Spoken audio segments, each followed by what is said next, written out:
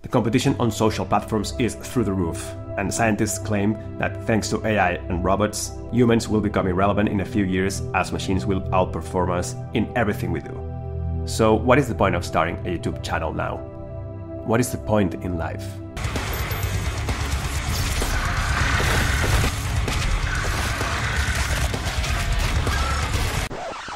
What is this guy talking about? Thank you so much for watching this video. This is a special one. If you've been following this channel, you'll be aware of my interest in AI and my goal to survive the future in a holistic manner. One of the main actions that I've taken to attain this goal is to become a content creator. In my opinion, this is the best time to do it. Why? Because of these three points that you will see in a second. There goes a hint. Communication. Point number one, self-acceptance and authenticity. In this video, I want to open to you about one of the biggest and most important flaws that I have to wrestle with every day communication skills. A friend of mine told me the other day, You are so good communicating to a camera. You are a natural. Am I? In my videos, you will normally see a big amount of edit cuts. Why? Because of this. Okay, only with what? Only with what with. Okay, only with. Only with with with what? Only with what with what we have seen, with what we've seen. Only with. Okay, only with only with what we've seen, only with only with what we've seen, Perplexity AI is, in my humble opinion, better. Okay, oh, okay, okay, only with what we. I struggle with memory, the ability to clearly articulate my thoughts, dyslexia, Recording scripts is literally a torture for me. This is why I edit like this. And because I thought that fast paced editing was the way to go in a world where attention span is almost inexistent. So, this is me. From now on, you won't see edits. I have been, of course, I have been studying what I have to say, so I don't make you lose your time, but I won't follow script. Thank you so much for your patience and bearing with me. So, I've been studying YouTube for a long time, and I have to say, I really like it.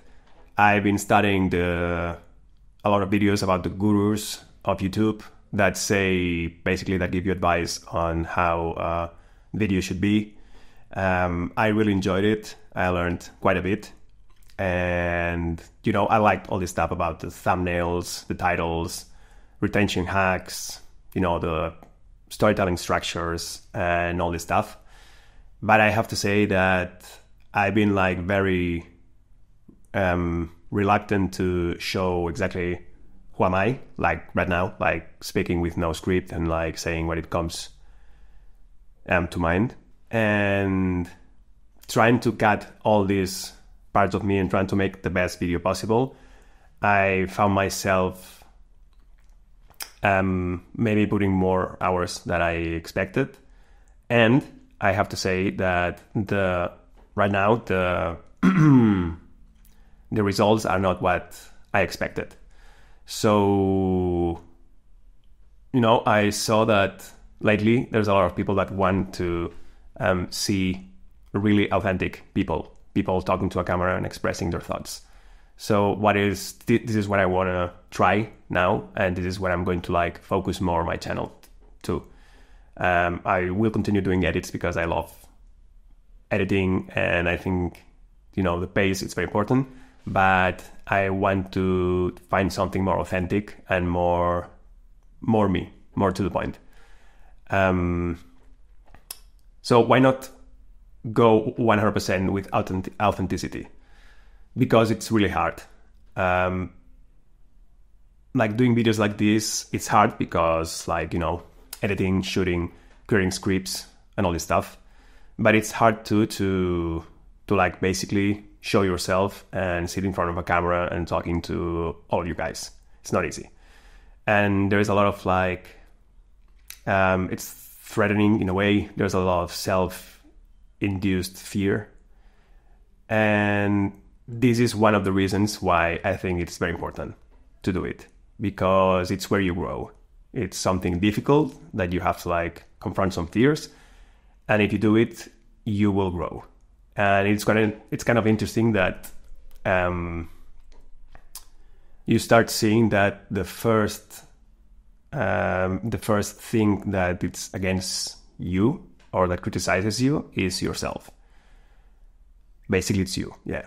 And the more you do it, the more you start letting yourself out and stop caring, the easier it gets, and the more, let's say, healthy self respect you gain.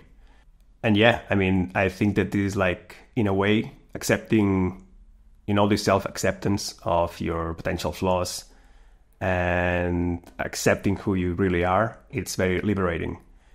Because I cannot tell you the biggest thing that creates tiredness. It's so exhausting trying to be somebody that you're really not, or trying to fake, or trying to like look more cool um, in front of everybody. It's really, really exhausting, and it can become something that pushes you to burnout, and you know, trying to hide all who you are. It's it's like it requires a lot of effort, time and effort. So as you can see, I'm like looking here because I have like a mini, uh, a mini storytelling script that helps me remember what I have to say. My point is that a very healthy way to use this platform is exposing yourself and sharing all your sharing your thoughts, uh, insights, etc.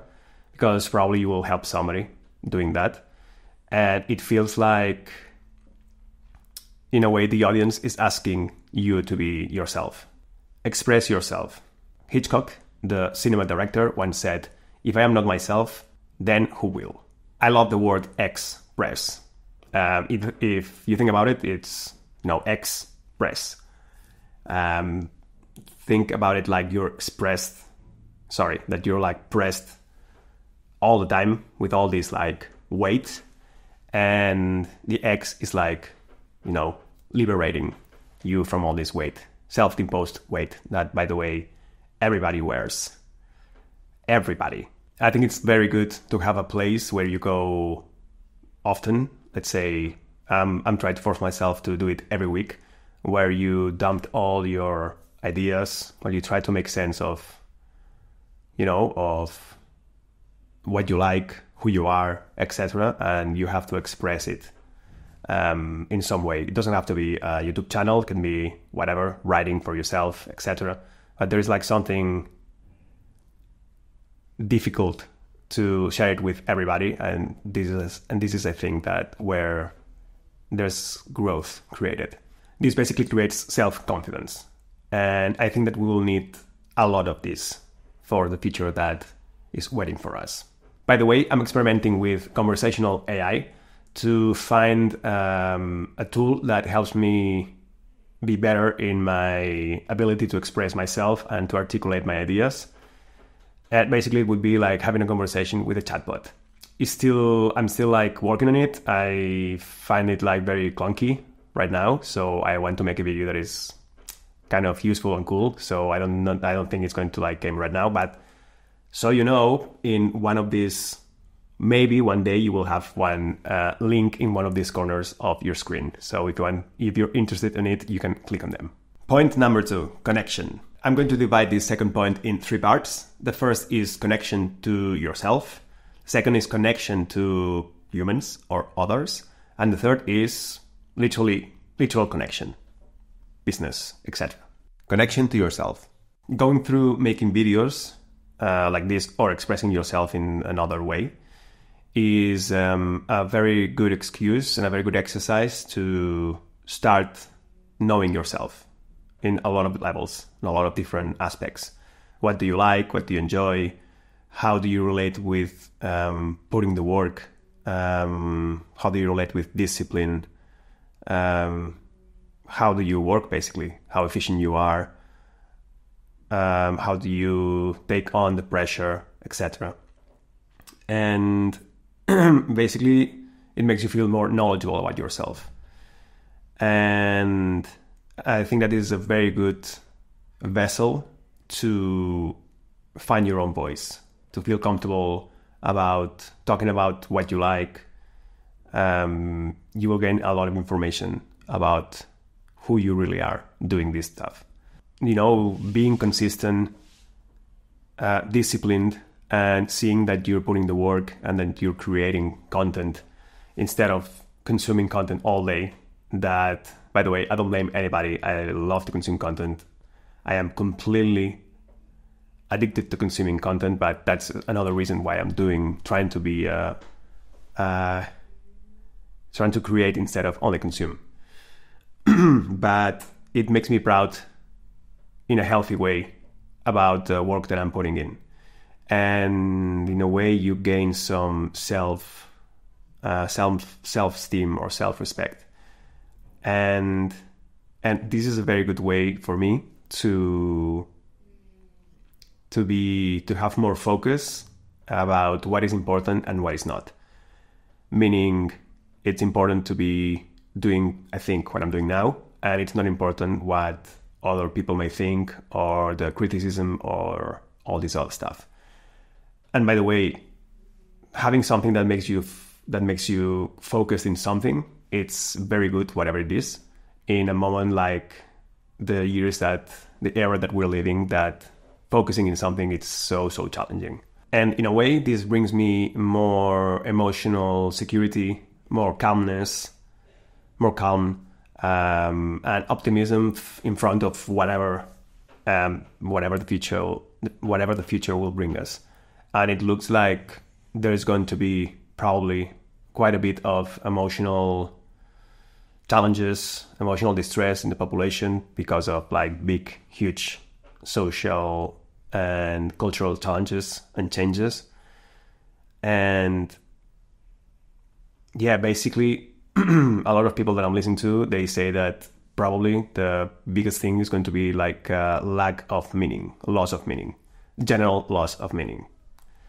Um, and I really don't see a better antidote in front of that to battle that um, that you know having a holistic understanding of who you are as a person you know accept accept accepting who you are flaws the good things etc and you know this probably will make you be more empathic empathetic with other people because really everybody is going through something and having their problems etc and you will gain i'm gaining um, i think a more understanding of human nature emotional intelligence etc and these skills i think they're going to be very very important in a future probably a future ruled by machines yeah ai machines and all the shit you know Ruled by machines? aka algorithms? What? Connect to others. Think about how interconnected we are with the digital world. Um, how many hours we spend a day not physically using our phones, but how many mental hours we are in a digital world. In my case, a lot of hours. I'm like really, really thinking about pff, something related with the with the digital world all fucking day long, and you know how the future looks with the creation of literally digital species that will overflow everything we do in all levels of our lives. It's going to be it's going to get undistinguishable. It's going to get like very difficult to to realize what is reality and what is not. I'm not and i'm not like only talking about fake news but the vast amount of of AI influencers, of AI avatars that are going to be used, the, va- the vast amount of of changes that AI and automation are going to to bring to marketing and to all different industries in the world. Um, it's going to get very very difficult and it's going to feel i think that we're going to feel a very like huge deep disconnection from the reality that we will going to be living. And and this brings me to the the connection part that we will need we, we need now and we always need it. You know when we were like explaining stories um, with prehistoric dudes you know around the fire we always needed to hear other people's stories um, other people's struggles etc to have like something to relate to to have something to learn from and And this, I think, is going to be more more than ever. We really, really will seek and need to see literally people having conversations, people having like a good time, friends having this chemistry between them, and having some laughs. I think that this is going to be the most meaningful experience that we will be able to to experience in a world literally flooded with automation, AI, robots, algorithms, etc. So AI and machines are going to be way better at doing what humans have been doing for ages. So doubling down in what makes us human, I think is the way to go. Make connections. The digital world is where stuff happens. Um, in creation of new businesses, um, just like basically almost no friction to start new businesses, etc. And you will meet a lot of people there uh, that share um, the same interests as you, uh, opportunities, job opportunities, etc. Um, even having, if you go to a job interview and you have worked in your digital presence, um, you have a well-rounded thought digital presence. I think that you're going to have more numbers. I mean, I think that you're going to be probably better positioned to to have the job, to be hired. And and and things are changing a lot. Like if you think about it, TV, I mean, the money uh, that advertisement is spending in you know the old mediums um, like TV, radio, newspapers, etc. It's like literally like going, going. It's going down. Um, you know, marketing is like moving from these places to like little screens. Um, call it TV, TV meaning Netflix, etc., or small small screens, small screens, as our iPhones, through different like social media platforms. Yeah, the digital economy has been growing nonstop, and it will bring a lot more changes. So I think that being part of it is a very nowadays it's like a very very important um, excuse to start having some kind of presence in social media. In my case, in YouTube, in this moment. Um, it took me a lot of time to realize this, and I think that if you want to expand your survival opportunities, it's the way to go. Point number three communication skills. Probably one of the most important skills of all. Um, through life, I've had a lot of difficulties with communication skills and the ability to articulate my thoughts in a logical, uh, organized way. And and this made me feel like really really stupid, um, very self aware of myself. Uh, I self sabotage myself a lot, and and probably is one of the connections to depression. Uh, again, another world, another word that I like a lot. It's not that I like it a lot, but it's very interesting. Depression. Jim Carrey, one of my youth obsessions, defines depression as the need to depress, to release the pressure a lot of people has inside, caused by not being who they really are. Basically, it is a natural way of the body to release this pressure. And through time, I come to, I came to realize that expressing yourself um, and in this way, through communication and communicate to others, it is one of the most important things that you can do, that you can work in life. Yeah, I should have listened to my mother when I was young because she always told me that I should be writing and speaking out loud about stuff that I would like. She would tell me this like probably 20 years ago because she knew that I was struggling with communication skills and expressing myself and of course, I didn't listen, so here we are. Listen to your mother. Another thing is that forcing myself to be uh, more clear and effective with my communication skills has made me more prepared, more knowledgeable, and and confident to face my goals. Um, I always had like uh, difficulties to express my ideas and communicate to the teams I had um, while doing the projects, audiovisual projects that I was involved in. And it was very challenging to be able to communicate exactly what you wanted. Um, others like Tarantino, they have this this ability to have a clear vision and a clear way of articulating it and expressing it and communicating to their teams what they want. So their vision can be well translated. This next phrase is going to be in black background because I think it's worth it. Precision in language is critical not only to success, but also to completeness in our understanding of the things we are doing. I really do think that our ability to understand and communicate with humans and robots are going to be is going to be very very important. Um, in a world fueled by efficiency and automation, being able to prompt the computer what you want and being very precise and articulate uh, about it, it's going to be really crucial. And besides, in a world um, where people will seek connection, having you know communication skills, mostly um, public speaking, you know presentation, and having the ability to connect, to understand people, human nature, uh, emotional intelligence, um, are going to be really really useful skills. And besides, it is a tool that differentiates us from other animals. You know, through language and communication, we arrive we arrived where we are right now in history. I've been years pursuing a career in the film industry, and I completely dismissed the creators economy, social media. And I, I always thought that it was full of egocentrical people that only wanted to talk about themselves. And I was wrong here I am.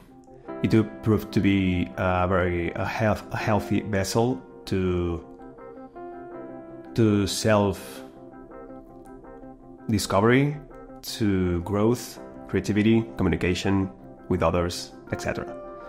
And I think in a way I owe it to the community of YouTube to be doing these videos because um, watching YouTube in times that were like kind of dark um, gave me some hope and some meaning, and I think that it could help somebody. In a way, it made me feel uh, it made me feel as a part of a whole, making me making me improve myself while I potentially help others. So I think this is a very good thing to work on. I am in the creator economy because I love to talk about stuff I enjoy and create healthy conversations about difficult topics that I think are very important for people's well being in the future. I want to entertain, make laugh, give hope, and learn from interesting people. YouTube gave me an opportunity to do that and help me accept, improve, gain clarity, and connect to myself. A healthy combo to be prepared for the new era. So let's wrap up this video, shall we? Thank you, thank you so much for having the patience to be listening if you arrived to the end. And yeah, let me tell you that I'm super excited and a little bit scared to be living in what I think is one of the most important and crucial moments of human history. And what a better way to be sharing it with all of you guys, um, thanks to this platform, YouTube. Um, yeah, if you're not still convinced about starting a YouTube channel, maybe watching this next video is going to give you a new perspective. So enjoy it. Thank you so much and stay kind.